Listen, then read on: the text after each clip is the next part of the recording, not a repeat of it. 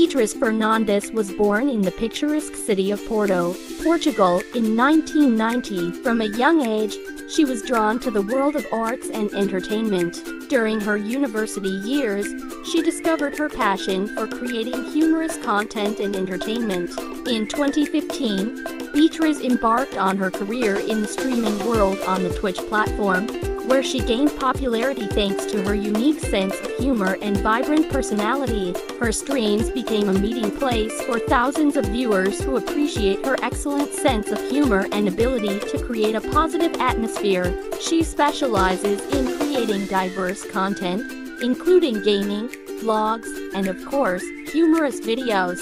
Beatriz is also active on social media, where she manages her blogs and shares amusing moments from her life. Lively and talented, Beatriz Fernandes continues to delight her fans with fresh and entertaining content, becoming a cheerful and inspiring figure for those who follow her creativity.